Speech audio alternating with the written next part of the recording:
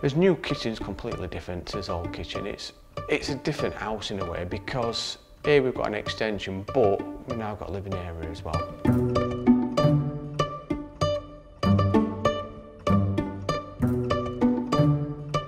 I'm Dale, financial advisor, lived here for about 10 years. The reason we had a Wren kitchen is, well, the builder decided, look, uh, we fitted a lot of Wren kitchens, we like them.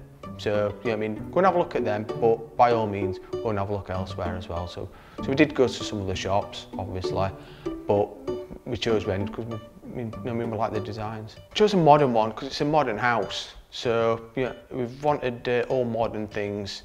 Designer sort of went through his options. He said, look, I think this will look good here, or because he did help us because we didn't know which where we want the sink or where where we want the fridge and ovens really. The designer then said to us, you can come back and change things and look if you have, if it's going to be a little bit more if you want to add things onto it you can you can pay there and then so we did go back to the showroom two or three more times upgraded little things, took things away what we thought what we're not going to need. To install kitchen, it took him two or three days really to get majority of it done. And we've got a reasonable sized kitchen, so two or three days is, you know what I mean, quite a good go. The um, cabinets came fully assembled, which obviously helped him, but obviously helped it to be fitted in quickly as well. The delivery came on the day it should have come, which is always help. um, and also, they're really helpful. They all, um, the guys brought it in, no problem. It took an hour or two because there's quite a lot of appliances and also sort of cupboards, all built up, all labelled. This kitchen now used hell of a lot more than it was before. Friends come round, no problem. Sitting having a drink while I can be cooking. Certainly at Christmas last year, really used it a lot. We always wanted an island. It was, it was, we've got a big enough kitchen to sort of take it. It looked not silly without it, but it wouldn't look the same. We always wanted that, and we wanted that feature where we could all eat together if we wanted to. At, at times when you'd snack and you'd wouldn't.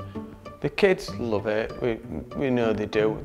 The drawers are easy to open and they can get in them. And obviously nothing's unsafe in there, so um, they use it really well and my daughter's even stopped putting things in the dishwasher.